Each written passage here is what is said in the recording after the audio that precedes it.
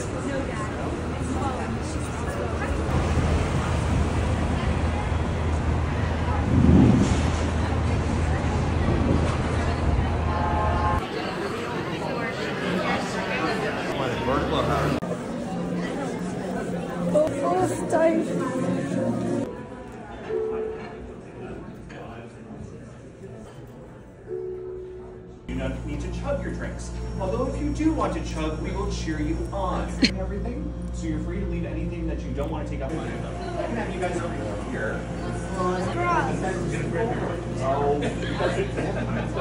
I knew I walked into that too. So I was just like, yeah, cool. Order for Jade? Please take a moment to do this now. I'm in now.